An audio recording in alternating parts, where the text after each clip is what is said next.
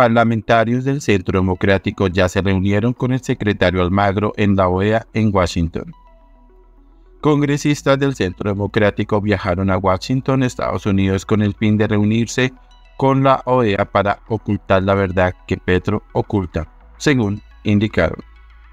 Según se conoció recientemente, Miguel Uribe Turbay, María Fernanda Cabal, Paloma Valencia, Paula Alguín y Hernán Cadavid y José Jaime Uzcategui ya cumplieron su cometido y se reunieron con Luis Almagro, secretario general de la Organización de Estados Americanos, OEA.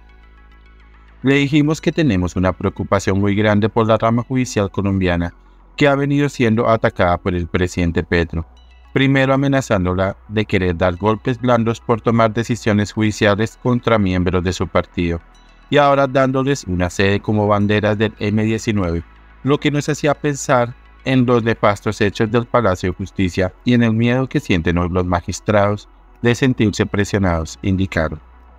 Adicionalmente comentaron que piden respaldo para la rama judicial colombiana comentando que no podemos permitir que todos estos organismos convencionales tergiversen información que vivimos todos los colombianos.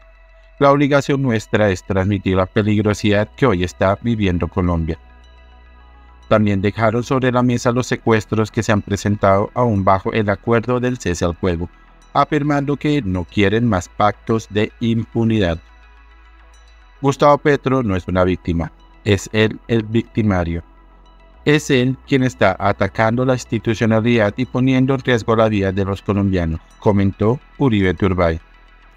Por otro lado, Hernán Cadavid reiteró que el país conoció cómo operó Gustavo Petro y compañía en la campaña presidencial, el descrédito, la destrucción del otro.